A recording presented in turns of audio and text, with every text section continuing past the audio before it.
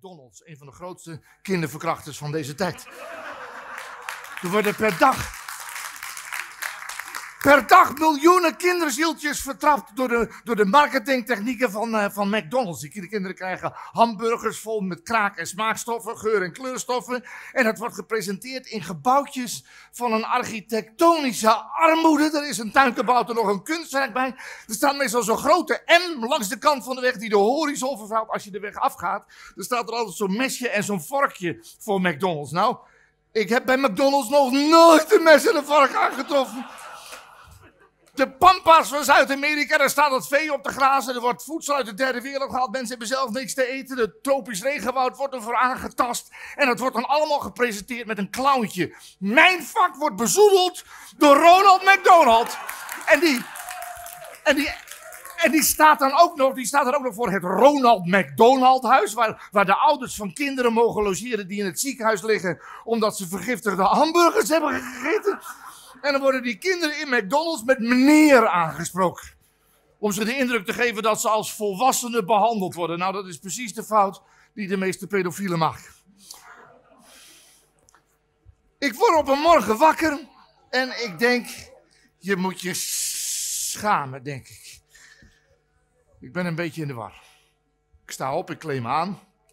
Ik ga onder de douche. Jullie moeten wel luisteren. Dus ik sta, precies, ik sta op, ik kleed me aan en ik ga onder de douche. Ik zei al, ik was in de war.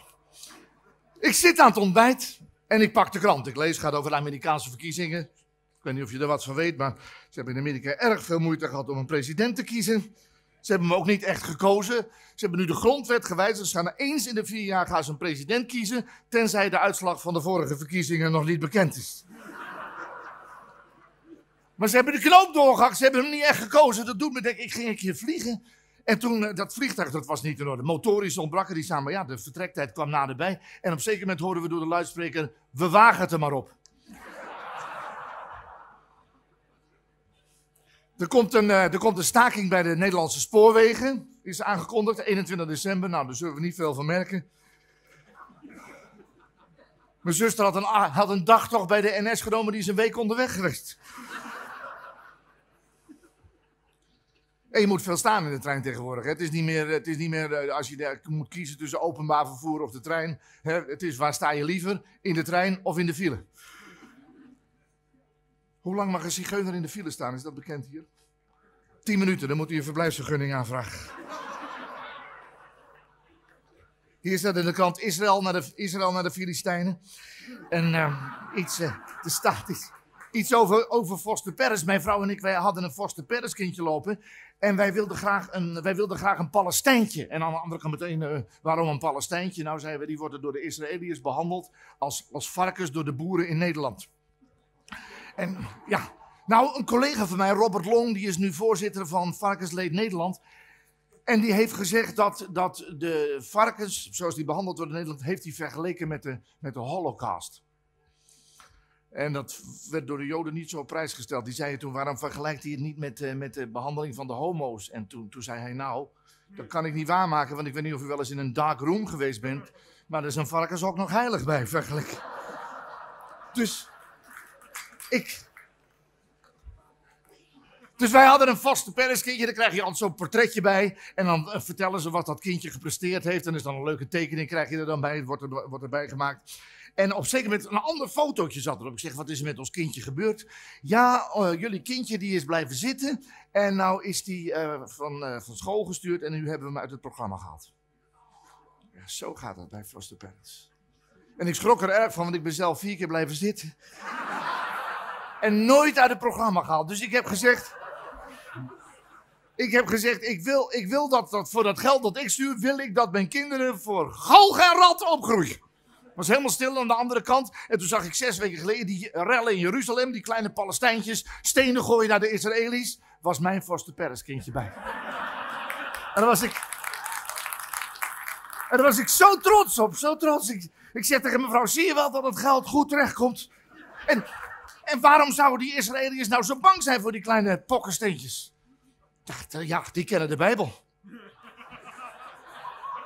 Ja, je had die, die kleine David en je had die grote Goliath. Uh, ja. En, en David is de stichter van de staat Israël. Nou, het wordt een, het wordt een bijzondere, het wordt een opmerkelijke jaarwisseling. En eh, laten we nou maar, het is al zo lang stil geweest. Waarom, waarom denken jullie dat het een merk, opmerkelijke jaarwisseling wordt dit jaar? Wat, wat, wat is er anders dan in andere jaren? Er is geen vuurwerk. Nou, we zijn er gelijk. We zijn. Ik zei geweldig. Ik, ik, heb die, ik heb die voorstelling nu 30 keer gedaan. Uh, uh, mensen met een dak boven hun hoofd komen daar niet meteen zo snel als die. Oh, we, we, doen er wel eens een uur over voordat we er zijn. Is wel zo leuk natuurlijk, maar goed. Geen, geen vuurwerk. Er komt een scheiding. Er komt een scheiding tussen de mensen die op, op oudjaarsnacht wel vuurwerk afsteken. En zij die het, zij die het niet gaan doen. Zij die, zij die nog enig mee te dogen hebben. Flikker er eens een emmer water overheen daar in die hoek. En zij die, zij die wel en zij die geen vuurwerk afsteken. En daar, komt, daar komt dus zei hij nog iets, want hè, de ramp in Enschede zei hij er nog iets voor voelen. En zei die, die het geen fuck interesseert wat, wat, wat, wat voor ellende er in de wereld is. En die, die de vlam jagen in alles waar een lont aan zit. Maar wij, ik neem het aan, wij, wij, wij, wij zijn. Dat, Zo zou je het ook samen kunnen vatten, ja.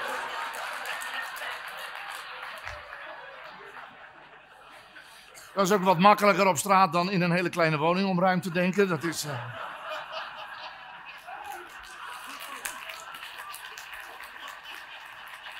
Nee. Ik, ik, steek geen vuurwerk af, ik heb geen enkel probleem. Ik ben niet met vuurwerk grootgebracht. Mijn vader was dominee, die zei tegen mij: Als je vuurwerk wil, dan lees je de Bijbel maar. Dus ik was vrij snel van vuurwerk genezen, moet ik zeggen. En, en van de Bijbel ook. Nee, wij, wij uh, één keer kregen, wij thuis, hadden ze van die sterretjes. Had, mijn moeder dan uh, sterretjes en die stak me van. En mijn broer en ik, we konden het werken koud vuur. Verschrikkelijk. Maar hij stak één zo'n sterretje aan. En de eerste vonk koud vuur, die spat in de kerstboom. Hoes. En de tweede in de petticoat van mijn zuster. Hoes. En die rende schreeuwend de keuken in. En mijn broer en ik, nog een sterretje, nog een sterretje ging niet meer. Toen moest ik aan mijn vuurwerk komen bij, bij een vriendje. Zijn vader had een speelgoed, uh, een uh, feestartikelenwinkel. En die heette, heette Slinger, meneer Slinger. Toevallig, feestartikelen Slinger. Verzin je niet die dingen. Nou ja, ik wel, maar normaal gesproken verzin je dat niet. En er kwam dan jaarlijks kwam daar de vertegenwoordiger van de vuurwerkfabriek uit Enschede. En dat was meneer Lond. En die, ja, toevallig, ik ken een slager die heet Jacob Kruisveld. En die, Als je, als je, naar, het, als je naar het NOS-journaal kijkt, krijg je bij die BSE-ziekte altijd diezelfde, diezelfde koe. Altijd weer die koe die zo... En dan vraag ik me af, hoe weten ze nou dat die koe gek is? dat bepalen wij, wij mensen bepalen of die koe gek is. Want wij mensen, wij bepalen alles. als koeien de wereld zouden bestieren... En ze zouden gewoon een camera een willekeurige discotheek binnenlopen. waar wij mensen zo... Dan zouden ze zeggen, nou dat vlees kan je beter niet eten volgens mij. Misschien staan die koeien wel helemaal uit hun dak te gaan. Je weet het niet, je weet het niet. En dan kwam die meneer Lont binnen, was goed. Dan kwam meneer, uh, er stond meneer Slinger hier. Meneer Lont komt binnen en dan zei die Slinger tegen die Lont, geef me de vijf. En dan zei meneer Lont, mogen er ook drie wezen. Vertegenwoordiger van de vuurwerkfabriek. En dan had hij een boek bij zich met, uh, met allemaal dingen. En dan een rotje, hoe klinkt dat, meneer Lont? Pang, zei hij dan. Oké, doe er dan maar 100 van. En een donderslag, hoe klinkt dat? Heel pang. Oh, doe maar 150. Chinese broekhoest, hoe klinkt dat, meneer Lont? Babi, pang, pang, zei hij. En dan had hij een keer iets nieuws, dat was een gillende keukenmeid. En, en toen vroeg, uh, vroeg meneer Slinger, meneer Lont, hoe klinkt dat, een gillende keukenmeid? En toen zei ik spontaan, en toen, en toen zei hij, hoe weet jij dat? Ik zei, nou, we hadden een keer sterretjes thuis. En toen kwam mijn moeder het jaar daarop met een, uh, met een papieren zakje. En dan mochten wij opblazen om vijf voor twaalf. En op precies twaalf uur sloegen we dat zakje stuk. En dan knipperde mijn moeder met het licht.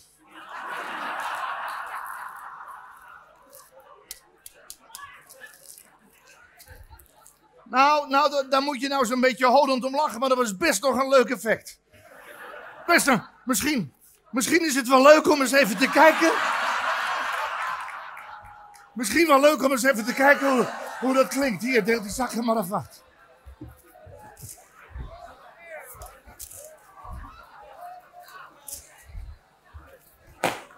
En,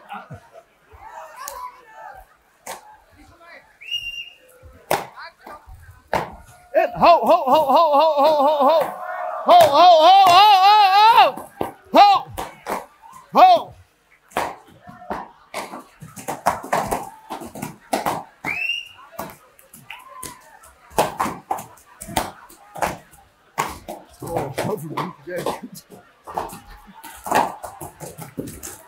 Ik tel tot drie.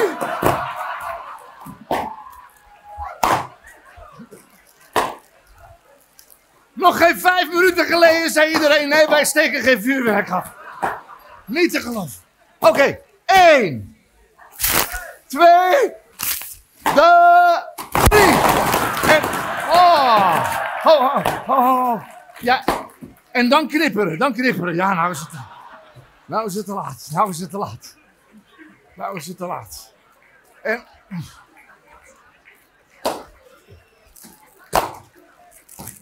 Nou. Nou, kijk eens. Hoe is het mogelijk, hè? Ik denk, ik, ik, doe, ik doe voor de gezelligheid in een van die zakjes doe ik een briefje van 100. Gooi, gooi die sukkelen terug. Nou ja. Ja.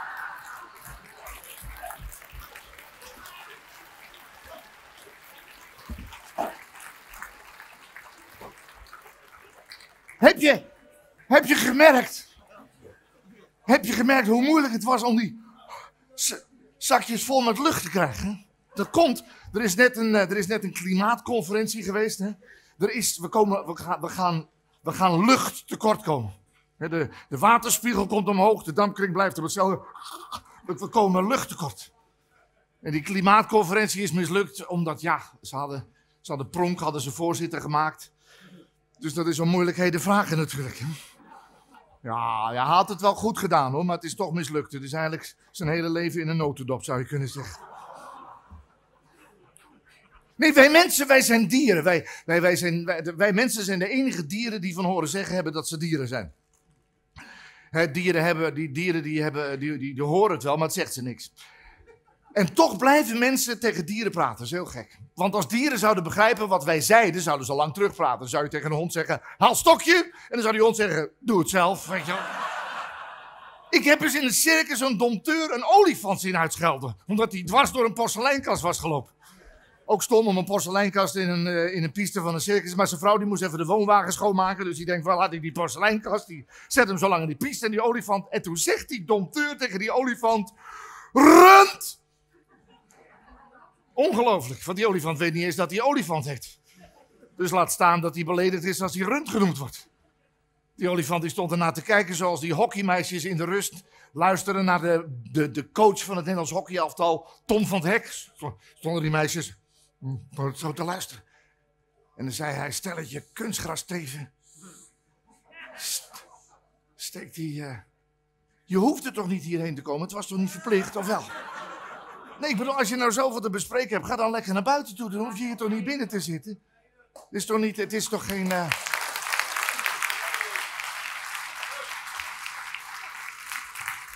Of, of word je gearresteerd als je buiten komt? Is, uh... Stel dat je kunstgras even steekt die stik in je reet, te gaan de kampioenschappen paal zitten meedoen. En ja, we weten van zijn broer hoe er bij de familie van het Hek aan tafel over hockeydames gesproken werd. En toch hebben die meisjes het goed gedaan. Ik weet niet of jullie iets gevolgd hebben van de Olympische Spelen. De hockeydames zijn derde geworden. De heren eh, die zijn kampioen geworden. Maar die, die, die, die waren, stonden op het punt om alles was verloren. Ze waren al met de bus naar het vliegveld. En toen zei iemand, uh, Engeland heeft Duitsland verslagen. Toen konden ze weer terug. als ze de geschiedenis een beetje gekend hadden, dan waren ze niet eens weggegaan. En die, en, die, en, die, en die mannen moesten strafballen nemen en die gingen er allemaal in. En, en, en daar konden de voetballers een puntje aan zuigen want ik ging, na ik ging na de zomer ging ik weer eens voetballen met mijn, met mijn team. Ik speel in een uh, goed team, goede voetballers. Allemaal, allemaal, oud, uh, allemaal oud profs. Tien hele goede voetballers. En ik mag dan meedoen omdat ik in de kleedkamer zo leuk ben. En toen, en toen ging het erover, waarom gaan die strafschoppen, waarom is dat nou misgegaan? Bij die, bij die uh, Europese kampioenschappen. Hoe kan dat nou? En, en, toen zei ik, nou ja, dat, dat... Nou ja, misschien kan ik af en toe wat opsteken. Ik, ik wou het er net even over hebben. Want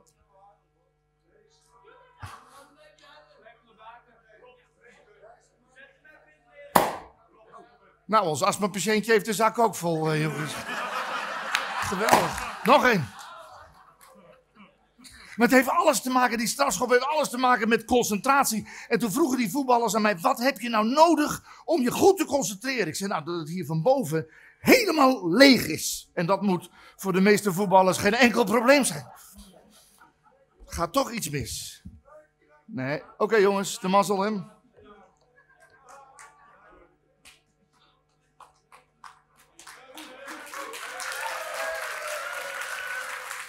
Nou ja, uh, we hoeven hier geen demonstratie van goed gedrag te geven. Maar kijk, uh, wat niet helemaal begrepen wordt, is dat voor, voor wat ik dus ook hier doe, dat je toch een bepaalde mate van aandacht nodig hebt. Hè? En uh, ik, ik, ik moet ook zelf me natuurlijk een beetje concentreren. En ik neem aan dat de meerderheid zoals die hier zit ook best bereid is om daar gevolg aan te geven. Maar ik heb het altijd ontzettend moeilijk met als ik hier en daar iets hoor, om goed geconcentreerd te zijn. Dus gun mij een beetje concentratie. Fijn, dankjewel. Dus, Roodkapje die zegt tegen oma... Oma, wat heb je? Wat heb je een grote mond? Ja, zegt oma, dat hebben alle daklozen. Um,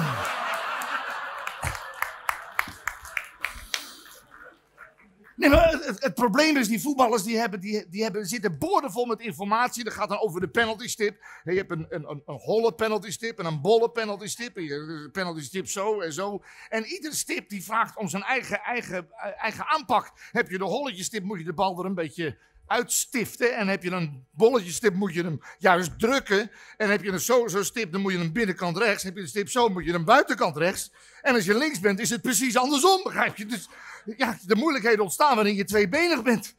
Dus geen, geen wonder dat die spelers zo op die, op die eh, penalty afkomen. Dus wij, gaan voetballen, na 10 minuten strafschop voor ons. En, en ik zeg, wie gaat hem nemen? Alle tien, jij. Wat ging er door je heen? Dat is een hele goede vraag. Ja, u stelt hem niet, dat weet ik ook wel, maar ik doe net of u hem stelt, begrijpt u? Ik voelde me vereerd en ik dacht, had ik mijn kop maar gehouden in de kleedkamer zo op te scheppen. En ik moet die bal hebben, dus ik, eh, ik, kijk om me heen. Die keeper die staat er zo mee onder zijn arm. Ik pak hem zo onder zijn arm vandaan. Hij draait zich om, hij kijkt mij aan. Twee druppels water, lubbers. Ja, ik had ook liever pronk gehad, eerlijk waar. Nou ja, bij pronk weet je van tevoren, die duikt naar links. En bij lubbers, je weet niet welke kant die opduikt. Hè? Dat weet je. En dat ging er toen over, want die, want die Lubbers heeft een hoge functie bij de Verenigde Naties gekregen. Dat geeft voor de vluchtelingen. En dat ging er toen over, is goed voor het land. Is goed voor het land. Niemand heeft zich afgevraagd of het ook goed is voor de vluchtelingen. Niemand. Ik heb het gevraagd. Men is verdeeld. Er is, er is angst en paniek uitgebroken in diverse kampen. Er zijn mensen teruggevlucht. Echt waar. Die laten zich nog liever martelen in Zaire dan, dan dat ze Lubbers op bezoek krijgen. En, en die kans is erg klein, want Lubbers gaat alleen naar de rijke landen. Die gaat alleen lobbyen. Daarom denk ik dat Lubbers ook beter voor de vluchtelingen is dan Pronk. Want Pronk, ja, dat is, die is geëngageerd. Dat is een socialist, die gaat bij die vluchtelingen bij het hekst grienen. Ja, daar schiet je geen fluit meer op. Die Lubbers die gaat naar recepties en die staat met een toastje met caviar en een wijnglas. En die, en die zegt tegen zo'n generaal Aag, neem een paar vluchtelingen terug. Tuurlijk Ruud, dat doe ik voor je. Zo, zo gaat en dan had je hier in Nederland nog een heel gedoe met, met, met de Kok wist het. Kok, onze, onze minister-president Van Aarts, onze minister van Buitenlandse Zaken, die wisten het. Maar Kok wist niet dat Van Aarts het wist. En Van Aarts wist niet dat Kok het wist. En Kok wilde niet dat Van Aarts wist dat hij het wist. En Van Aarts wilde niet dat Kok dat hij het wist. Leuke werksfeer. En die lopen dan langs elkaar heen in dat binnenhof. Weet je al, de hele tijd met het idee, ik weet het lekker. Ik weet het lekker. Over de benoeming van Lubbers en die andere ook, ik weet het lekker. En je weet wel, als je geheim hebt en je kan het niet delen ja, dat is, dat is vervelend. Dat, dat, dat, dan kan je het bijna niet meer inhouden. Dan wil je tegen. En, en Van Aartsen kon niet meer houden. Die zei terloops lubbers. en Kok die gaf hem niet de eer. Die deed net of hij niet hoort. En dan had het NOS-journaal had daar, had daar tien minuten aandacht aan besteed. Aan, dit, aan, dit, aan deze onzin. En toen zei die man aan het eind, die verslaggever, eigenlijk is er niks aan de hand. Hadden wij tien minuten naar zitten kijken. Dus toen zei hij, maar er is de laatste tijd zo vaak niks aan de hand. Er zal wel wat aan de hand zijn, ja. Zo kan ik ook nieuws maken. Aan het eind van het journaal zeggen ze tegenwoordig wel eens... Meer nieuws om tien uur. Dan denk ik, wat krijgen we nou? Meer nieuws? Als er meer nieuws is, wil ik het nu weten. Nee, ongelooflijk meer. En, en dus dan, ja, dan denk je tien uur. Die loopt de anderhalf uur zo door de kamer. Ga je om tien uur kijken? Precies hetzelfde nieuws. Je hebt, ook, de rubriek kort nieuws, weet je wel. Kort nieuws, wat, welk nieuws is lang nieuws? Als nieuws nieuws verteld is, is het, geen, is het geen nieuws meer. Dus het is altijd kort nieuws. Laatst, laatst zei Erwin Krol van het Weer, die zei meer weer om tien uur. meer weer om om tien uur. Dus dat betekent dat op dat moment bepaalde delen van Nederland zonder weer zaten. Nee, ze, klop, ze kloppen alles, alles kloppen ze op en, en alles op. Mooi, we hebben de Olympische Spelen gehad. De Olympische Spelen, dat semi-fascistoïde gedoe met dat vlaggenwappen waar onze kroonprins zich zo thuis voelt. En de, de Spelen van de doping, hè, zou je kunnen zeggen. Spelen van de doping, maar er wordt niks over gelekt. Over de Spelen van de doping. Onze, onze teamarts, Nederlandse teamarts, die zei al... Een intelligente topsporter zal nooit op doping betrapt worden. Dus je moet ook helemaal geen dopingtest houden. Je moet een IQ-test houden.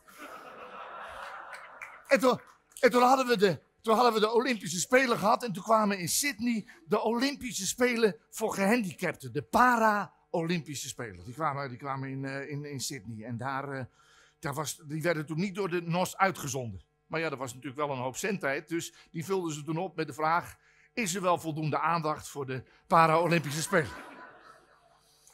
Daar werd ik ook over gebeld en, en, en, en, ik zei, nou ja, er is te veel aandacht voor het feit of er wel voldoende aandacht voor Nee, dat willen we niet weten. Wil u, da, wil u daar naar kijken, Paralympische Spelen? Wil, wil u... Nou, ik weet het niet. Ik heb daar moeite... Nee, maar je ziet de laatste tijd op televisie toch naar... Ja, toch naar... Toch naar dingen te kijken. Wat? Gaat het? Zit je een beetje lekker? Pas op voor je derde rugwervel zo, als je zo zit. Gaat helemaal uit de kom zo. Had je nog een verstandige opmerking of het hierbij houden? Oké. Dus toen kwamen die, toen kwamen die en ze vroegen aan mij, wil, wil, je, dat, wil je dat zien? En ik, ik vind het een precair onderwerp. Precair. Goeie naam voor een luchtvaartmaatschappij. En er ging laatst iemand voor sekstoerisme naar uh, Thailand. Ik zeg, waar vlieg je mee? Hij zegt, met vulgair. Nee, maar, maar, maar, wil ik dat zien? Ik bedoel, wil ik, wil ik, die, uh, wil ik die Paralympische Spelen zien? Ik, ik, ik, vind het moeilijk. Ik vind ik vind het moeilijke dingen, omdat... Nou ja, het is een beetje... Ik bedoel, de sociale werkplaats gaat ook niet naar de beurs. Ze maken hartstikke mooie knijpers, daar gaat het niet om. Maar ik bedoel, je breekt er geen potten mee op Wall Street, zal ik maar zeggen. Dus ik, ik, ik, ik weet het niet. Je zit naar pijnlijke dingen te kijken. Er is een verstandelijk gehandicapte jongen. Die heeft zes gouden medailles gewonnen met zwemmen. Ik vroeg me meteen af, hoe intelligent moet je zijn om in een, in een zwembad van de ene kant naar het zwembad en weer terug te zwemmen? Ik bedoel, een beetje intelligent mens neemt de boot. He? En dan gaat er om zo snel mogelijk heen en terug. Dan denk ik, ga niet heen. Blijf gewoon staan en tik zo op. Dan Nee, maar dan had die jongen zes medailles gewonnen en die kreeg dan geen onderscheiding van de koningin in de ridderzaal, omdat hij iets gedaan had waarvan wij niet mochten weten wat hij gedaan had. En ik weet het, want ik heb de privé voor gehandicapten er even op nageslagen. En daar stond in, hij had, hij had niet gezwommen. Hij had niet gezwommen. Pieter van de Hogeband had gezwommen met zijn badmuts op. En ik weet niet of u wel eens een badmuts op heeft gehad, maar dan zie je er al gauw verstandelijk gehandicapt uit. En, heb je gezien bij de, voor, voor de 100 meter voor gehandicapten hardlopen, de start, start, pang, bleven drie atleten zitten. Doof. Ja, dat start gaat niet. Toen dachten ze, nou weet je wat, we, we nemen zo'n stoplicht als bij, bij de autoraces en als het op groen springt, kunnen die anderen gaan, weet je wel. Pang, groen, bleef er nog één zitten. Doof en blind, ja goed. Nou, er is uit onderzoek gebleken dat de daklozen gemiddeld hoger opgeleid zijn dan de Nederlanders. Nou, dat blijkt dan vanavond nog. Ongelooflijk. Dove, weet je, weet, je, weet je hoe ze een dove en blinde starten? Er staat zo'n official, die staat er zo achter. Ja, die krijgt een schop voor zijn hol. Echt ongelooflijk. Pang, groen, hapla! Oh. Zou je een valse start hebben? Oh. En dan hadden ze ook eh, paardrijden, dressuur. Er zat een, zat er een man met één been op een paard. Nou ja, dat vind ik helemaal niks. dan moet je een paard met drie benen. op dat paard kan je rustig iemand zonder benen zetten. Dat is geen enkel probleem. Lekker licht. Je kan zelfs, je kan zelfs een leeg paard erbij sturen, maakt niet uit. Zet die muziek maar op en dat paard dat gaat wel. Kan Ankie van Grunsven er gewoon een, een, beetje lachend bij zetten. Een beetje lachend is moeilijk voor haar hoor. Beetje lachen. Doet me een beetje denken aan die liplezer die tegen Michael Reiziger zegt: Ik ben niet doof.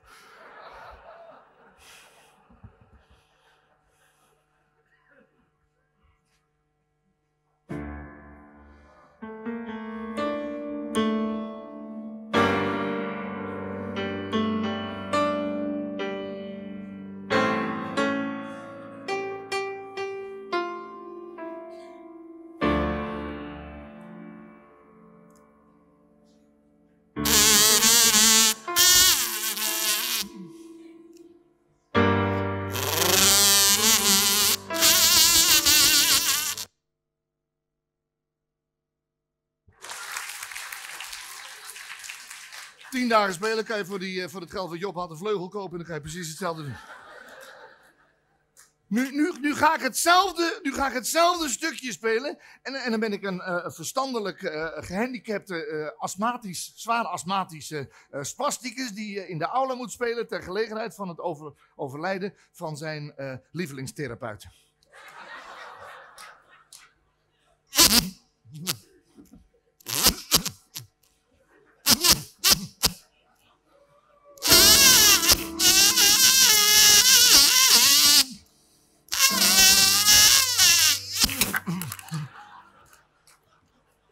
Is toch schandalig? Het is toch. Het is toch schandalig dat je daarom durft te lachen. Dat je om zoiets toch. Ongelooflijk. Ik bedoel, als je dat nou zo leuk vindt, waarom ga je dan niet werken voor ze? Ik bedoel, er is nog arbeidsplaatsen te over. Ik heb laatst een filmpje gezien. Er, was, eh, er waren dan mensen die hadden, die hadden dan s'nachts geen hulp meer. En die hadden een kleedje voor hun bed. En dan moesten ze dan s'nachts hun behoefte opdoen. Ja, dat was uh, lachen. Het is. Uh... Dus ik word op een morgen wakker. Ik denk, je, je, moet je, je moet je schamen. Wij hebben niet zoveel, we hebben niet zoveel idee over, over, over schaamte. Wij zitten, wij zitten veel meer, meer vast aan, aan het idee van schuld. In de, in de zesde eeuw van de Chinese jaartelling. De zesde eeuw van de Chinese jaartelling. woonde er in Japan. een groot. tenminste groot, een, klein, een beroemd acteur. Hij was, hij was na de keizer de beroemdste man van Japan.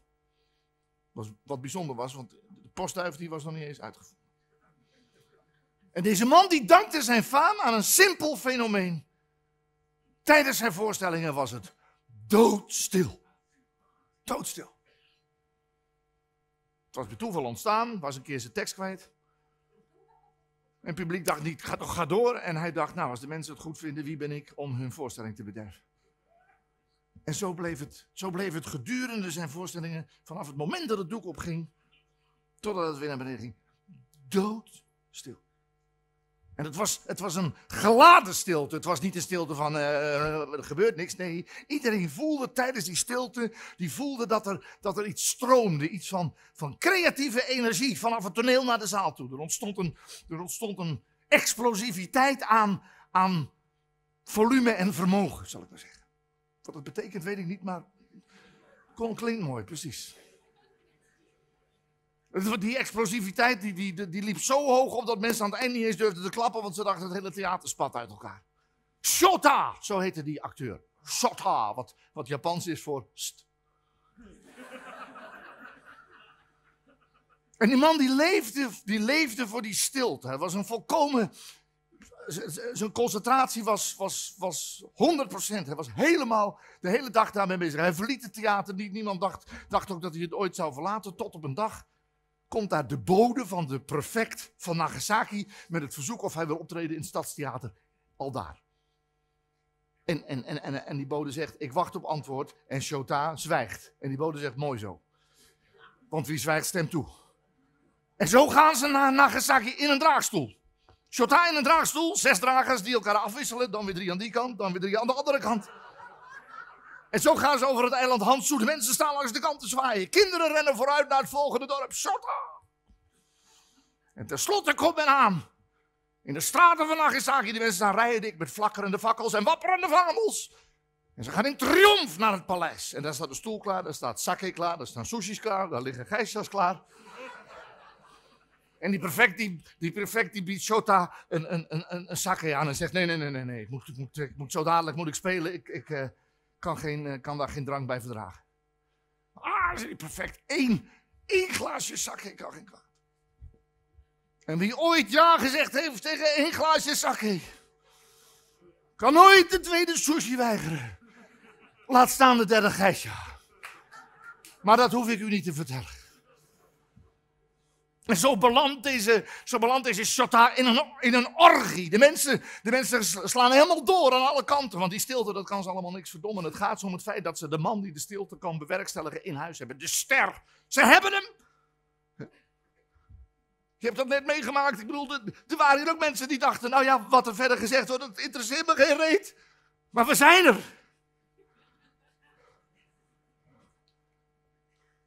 En die Shota, die, die, zuipt het ene vat sake naar het andere leeg. Hij vergrijpt zich aan de ene sushi naar de andere. En op zekere avond komt daar de, de, de directeur van de Schouwburg en die zegt, ja, dan moet het vanavond gebeuren, want morgen krijg ik het Chinese staatscircus.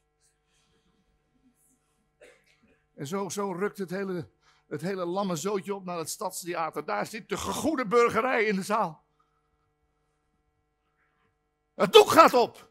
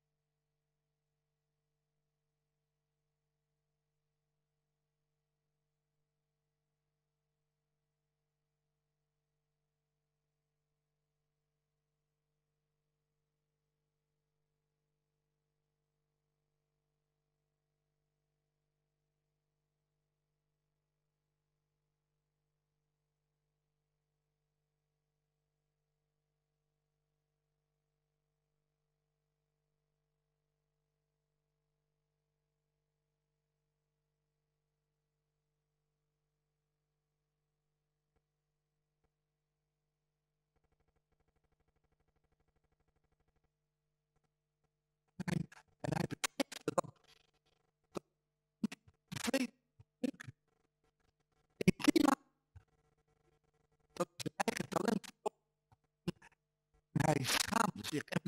Ja, schaamde zich die schaamde zich harakiri die schaamt zich harakiri van wat wij aan die zij dat ik kreeg door wat schaamte overdraagbaar. Dat kun je niet meer weg. Dat, dat doen wij. Nee, nee, nee, nee, dat is de herrie van het afgaan. Dat wordt van metal, hard rock. Schaamte is kinderen, kinderen, kinderen van de school komen naar me toe die zeggen, meneer, wat is de blues? Ja, dat is ook nog wat ik was een neefje op bezoek en die zei, oh, ik ben op de twijfelkamp geweest. Ik zeg, wat denk Nou, we hebben allemaal een mobieltje bij ons. Deze is nu 40 jaar en die zat met een computerspelletje in de vijf jaar de kleuter vermoord.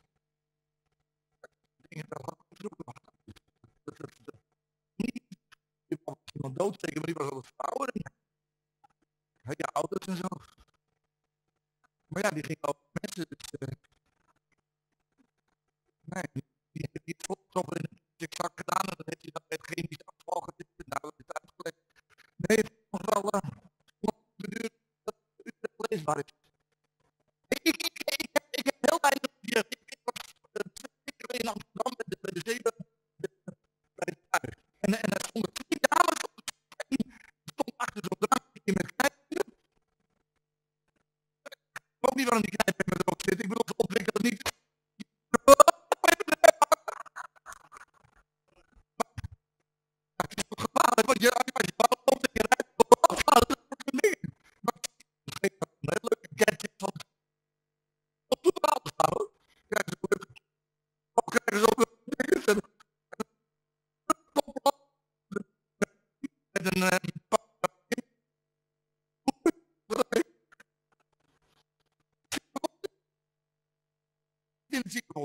de dingen van, ja, de Playboy wil het niet, hè, want als als als in het ziekenhuis zit, dan verkopen de softpornobladen niet meer, begrijp je? Zo, zo, zo werkt het allemaal. En er was een man met een dwarslezer, die kon zich die bladen ook niet permitteren. Die zegt tegen de dokter, ja, maar hoe kan ik nou ooit nog een erectie krijgen? Nou, zei die dokter, probeer me stijf te schelden. Toen, toen zegt hij tegen de dokter, heb je ook een suggestie voor wat ik zeggen moet? Nou, zei die dokter, wat dacht je van? Eikel is ook een goed, goed idee. Dus er stond die vrouw met, dat, eh, met die rollator, heet zo'n ding. En daarnaast zat een vrouw in een andere ziekenfonds surprise. Zo'n wagentje, die was helemaal te beroerd om te lopen. Die zat in zo'n wagentje met zo'n windscherm. Weet je, ontwikkelt ook niet de snelheid dat je denkt... Oh, maar lekker zo'n windscherm, als je met haar staat te praten, dan word je niet nat. Dus die zit daar zo... Wat dat betreft zouden jullie ook wel willen dat er een windscherm was.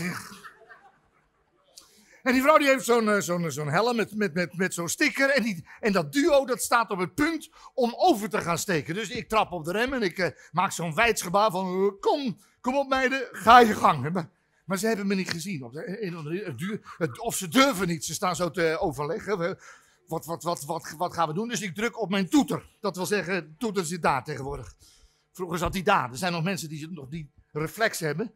En die zijn dan woedend en pats. En heb je die airbag en hup, zitten ze gelijk achter de auto.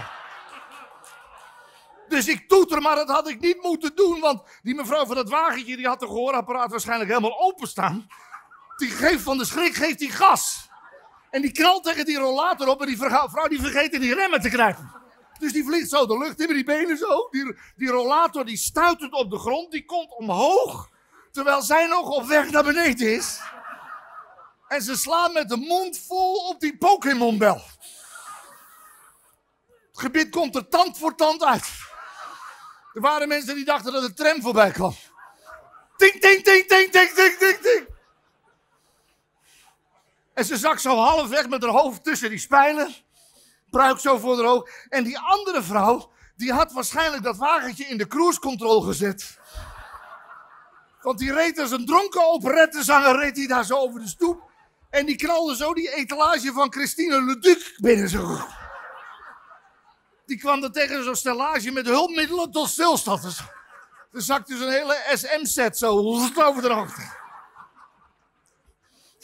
Schiet me opeens een ander woord voor vibrator te binnen. Schaamlippenstift.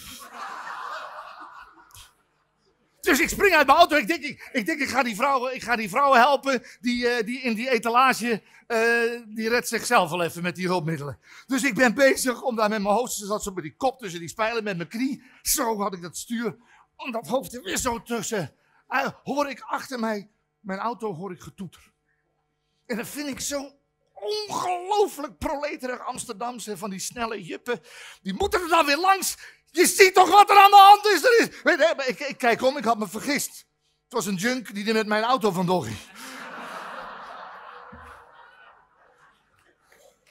ik, ik ben van mening dat je iedereen een faire kans moet geven. Ik geus die beweerde dat vroeger alles beter was. Ik zeg ook niet dat je je in moet laten sluiten door het leven. Als je ergens uit moet lopen, dan is het wel te pas. Ik ben de laatste om mezelf op de borst te kloppen, te pretenderen dat ik zou weten hoe het moet. Ik weiger ongehinderd een bal in open doel te koppen. Ik vind dat ieder mens voor zich moet weten wat hij doet. Ik zeg niet dat het het rechte eind was waarbij wij het hadden. De tijden zijn veranderd en ieder tijdperk eist zijn tol. Ik zie mij nog strijdlustig leuzen op blinde muren kladden. Hoe lang houdt een generatie zijn idealisme vol? Schat, ik ben 56.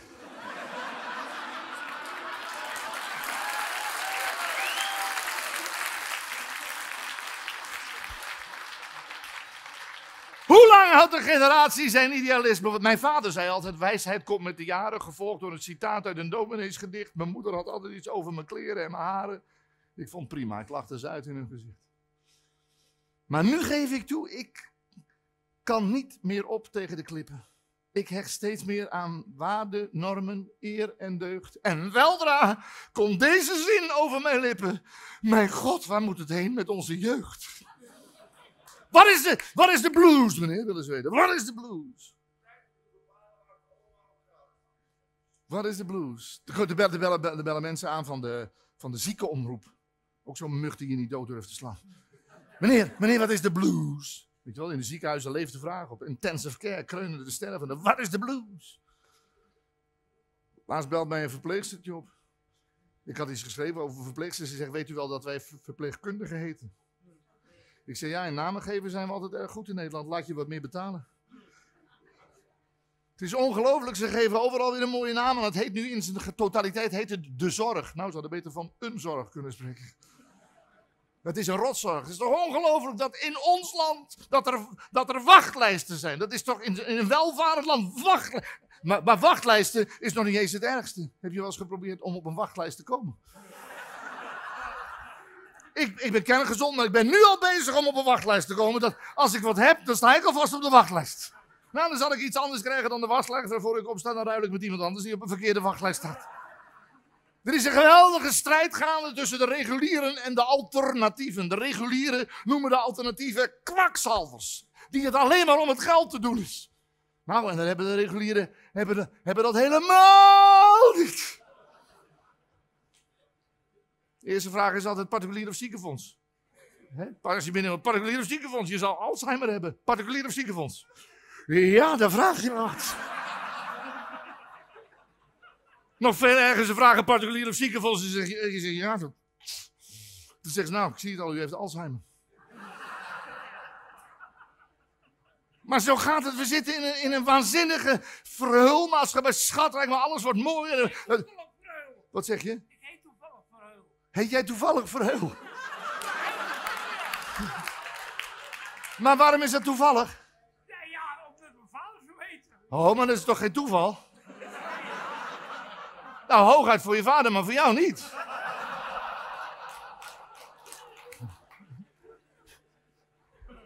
Oké, okay, Verheul, zal ik doorgaan? Ja. Merci. Nou, ik wou het even hebben, we hebben het over, het, over het, uh, het mooier maken van de samenleving, waar dan de bourgeoisie mee bezig is. We hebben aan de top van ons hebben we, hebben we, de, hebben het koningshuis, dat noemen, we dan een sprookje. Koningin, prins, kroonprins. Heeft en die kroonprins heeft nu een vriendinnetje. En de vader van dat vriendinnetje, die heet...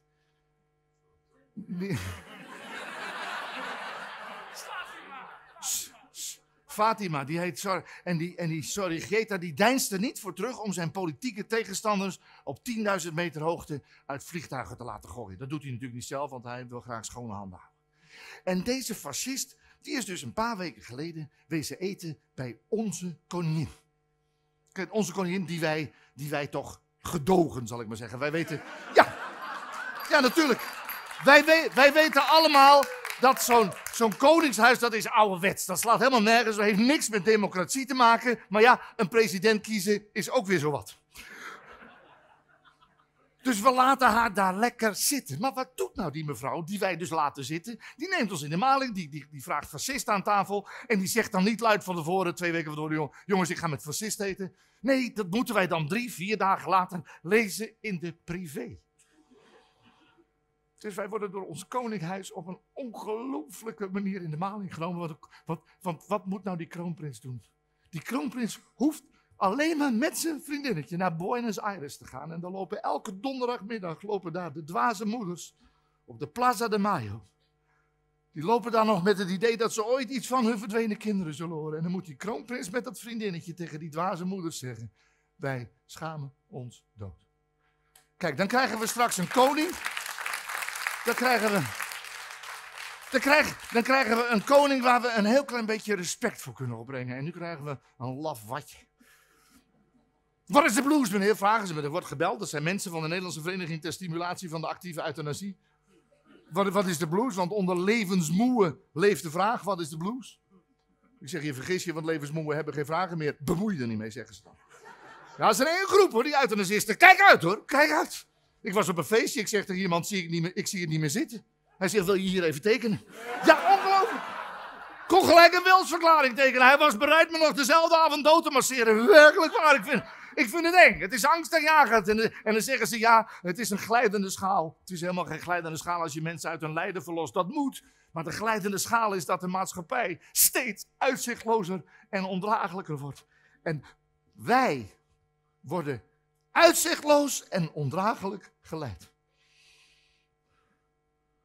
Wat is de, de blues? Je moet er niet over, over, over nadenken over wat er kan gaan gebeuren. Ik wel natuurlijk. Maar nou ja, het is mijn vak. Ik, ik, ik dacht over de dood na. Ik, ik dacht opeens, uh, moet ik mijn bril ophouden in de kist? ik was naar een begrafenis geweest en dan kijk je wel eens door zo'n glaasje en dan zag ik een man die had zijn bril zo op. Ik denk, wat zou die nog willen zien? Wat? Zou hij niet weten dat hij dood is? Heel gek. Ik deed nog even... Uh, ik vind het zo raar, zo'n op. Ik, ik, weet het niet. Je, je, komt in de hemel, nou, dat is alles volmaakt, dus heb je hem niet nodig. Of je komt in de hel, nou laat dan je bril maar thuis. Dankjewel, Efrael. Ik leg hem even hier neer. Voordat ik erop ga staan. Ja, die zou ik nooit vergeten. Er zit trouwens maar één glas in. Heb je maar één slecht oog? Kijk, dat noem ik nou toevallig. Dat dan dit ook precies het glas van je slechte oog is, of niet? Nee, hier pak het even aan. En nou even je mond houden, anders uh, hè. krijg je geen erwtensoep straks hoor.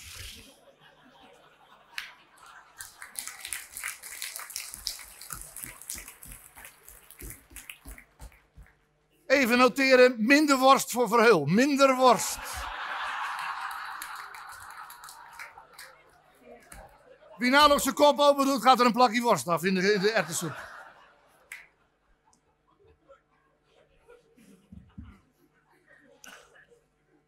Meneer, wat is er? Nee, maar die brillen, die, dat vind zonde eigenlijk, om zijn bril op te houden in, in, in de kist. Het is toch, eh, als je begraven wordt, worden die, over 300 jaar worden die brillen opgegraven denken ze, dan denken ze dat, er, dat we er flesjes bier mee openmaakten.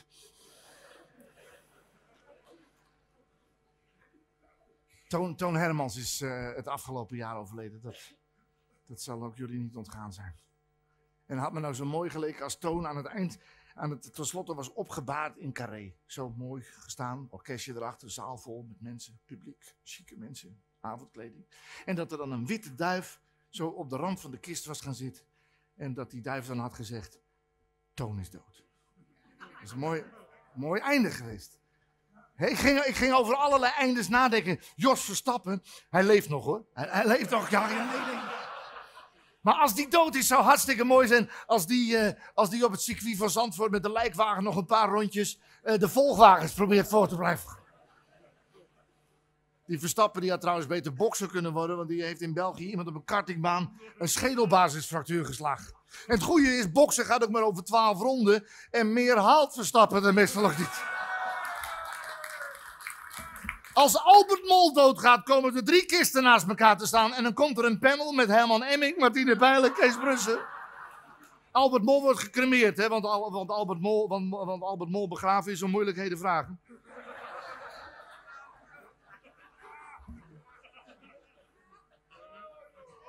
Wat is, wat is de blues? Ik vraag er aan die, aan die mensen, vraag ik, wat denk je zelf dat het is? Wat denk je zelf dat het is? Dat is een truc die ik van mijn huisarts geleerd heb. Kom je met een doodziek kind binnen, wat denk je zelf dat het is? Ach, pleuritis irritatus. Nou, dan zou je, dan zou je best eens gelijk aan kunnen hebben, zegt die dokter dan. Dan zou je best eens gelijk aan kunnen hebben. Maar ja, waarom ga je nog naar een huisarts voor het recept? Want ze proberen in Nederland de gezondheidszorg zo duur mogelijk te houden. Dat wil zeggen, niemand anders mag er iets aan verdienen dan hij die deel uitmaakt van het farmaceutisch-therapeutisch complex.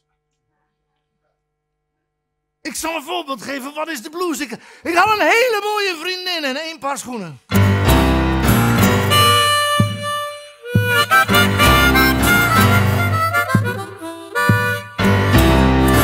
Ik had een hele mooie vriendin en één paar schoenen.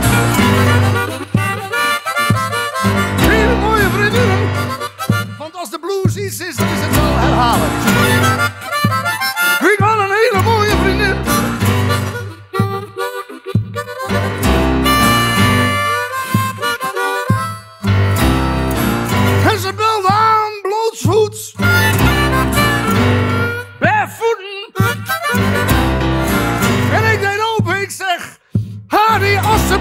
Ik noemde haar Assenpoetser.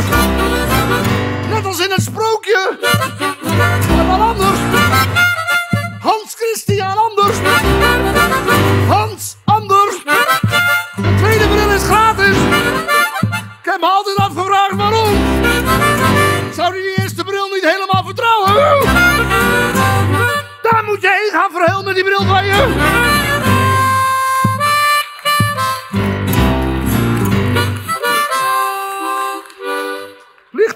Die? Oh nee.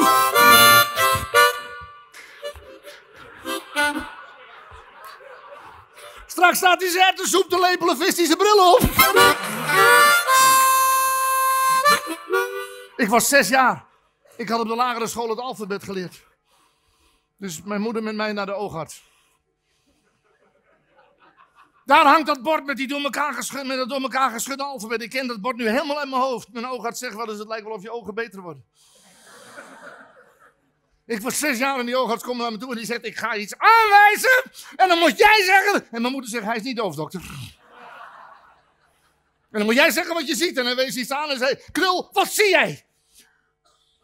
Ik zeg, ik zie een heel groot meer. Kunnen wel tien reuzen in verdrinken. Over het water loopt de kleine kabouter op zoek naar meer meerminnen. Plotseling rijst voor de kleine kabouter een zevenkoppig monster op die zijn, die zijn steekvlammen in de, alle richtingen van de wind spuwt. En de kleine dwerg laat een boordje waarbij er een waakvlam tussen zijn tanden doorkomt. En het monster duikt weg en de, dwerg, en de dwerg dartelt door naar de einder. En die, en, die, en, die, en die oogarts die kijkt mij aan. En die kijkt nog eens naar dat bord wat hij aangewezen heeft. En die zegt tegen mijn moeder, hele slechte ogen. Maar ik zou hem geen bril geven, zegt hij. En wij- en wij komen eruit. En mijn moeder die geeft me op de stoep van die, van die oogarts een geweldige lel omhoor. Ik zeg, laten we gelijk doorlopen naar de KNO-arts. Ik krijg van de andere kant nog in en toen ging het wel weer.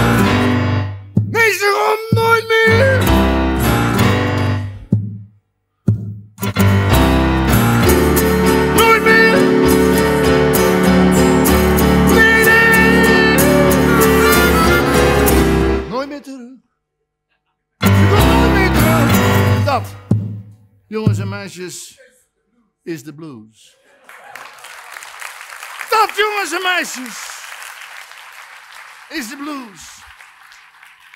De blues is vormgegeven verdriet. De blues is ellende in een lied. Het is het enige wat wij tegenover de opgefokte, gedicteerde marketingtechnieken van McDonald's kunnen zetten.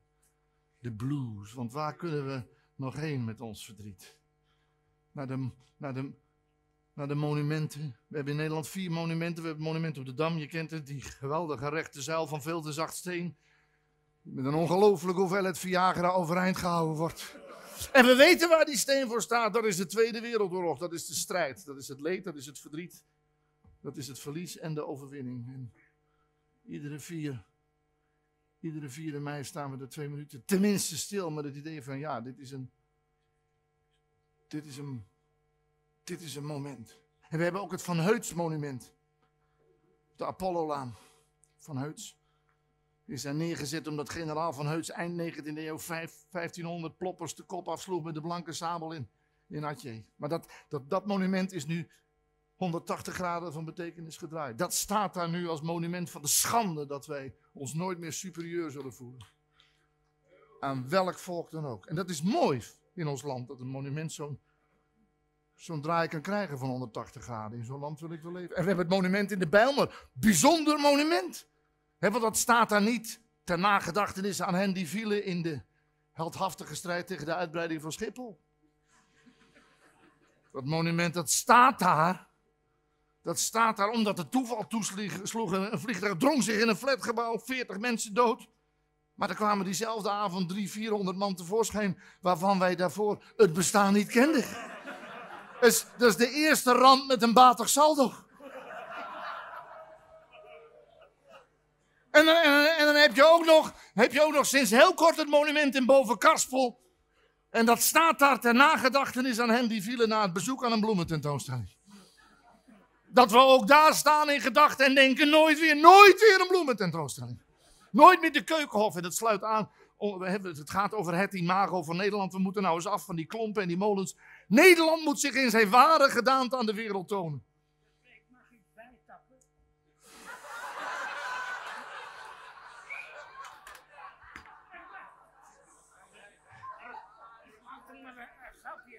Ja, het is een grapje. Maar uh, we zijn in het stadium gekomen dat ik alleen de grapjes maak.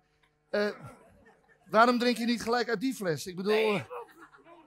is mijn noodvoorraad. Oh, dus ik je... heb in het leven geleerd, je moet altijd een noodvoorraad bij je. Oké. Okay. Ehm, lik je dit nog op of kun ik dit uh, weg laten dweilen?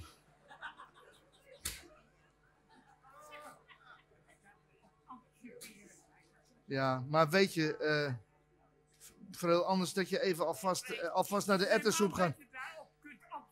Ja, dat neem je aan, natuurlijk. Tot op, tot op zeker.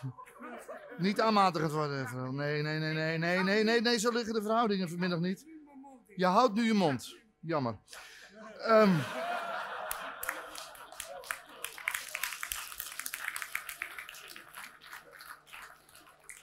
We hadden het over het imago van Nederland met de klompen en de molentjes. En Nederland moet maar eens aan de buitenwereld laten zien hoe ze er echt uitziet. Sorry.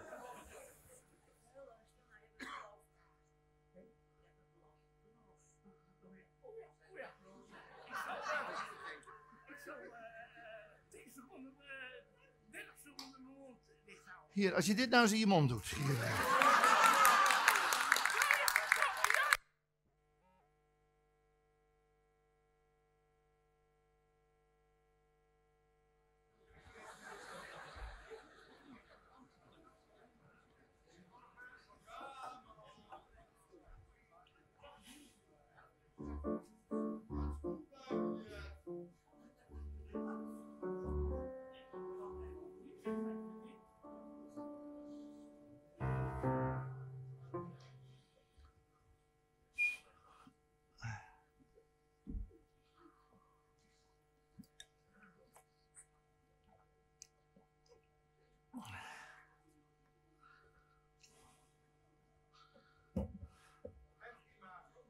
Het, fijn, dankjewel. Het imago van Nederland.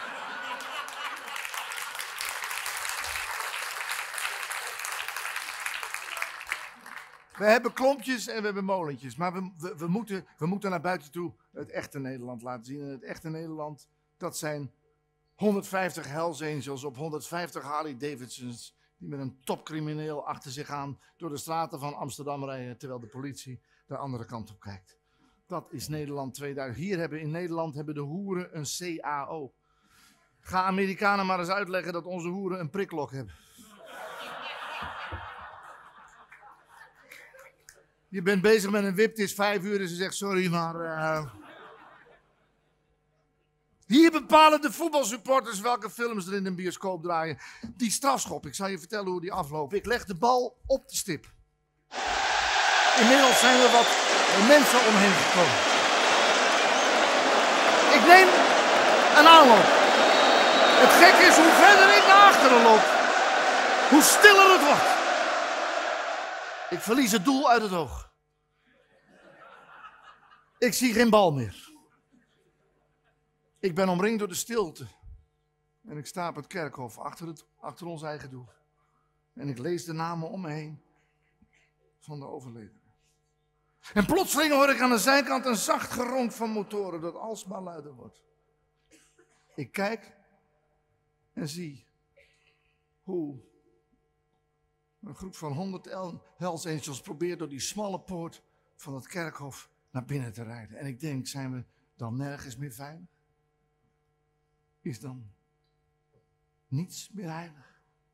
En ik ren terug zo hard ik kan. Ik zie de bal. Ik zie het doel. Ik schiet. Wat denk je, ging hij erin of niet? Hij ging erin, we wonnen de wedstrijd met 13-1. Waarbij dient te worden aangetekend dat het enige doelpunt van de tegenstander ook door mij gescoord werd. Want ik ben een winnaar! Ik ben een winnaar die de verliezer ook wat gunt. Wat dat betreft ben ik een socialist in hart en nieren. Zolang de verhoudingen maar 13-1 blijven.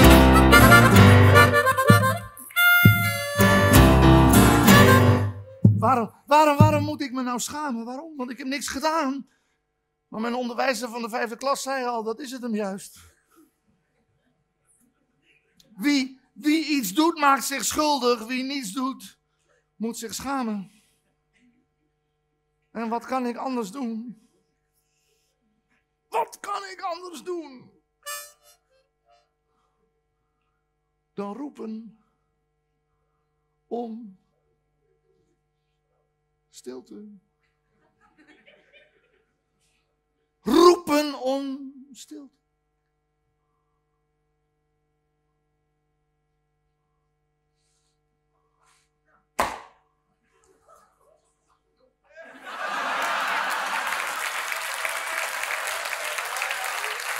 Stop.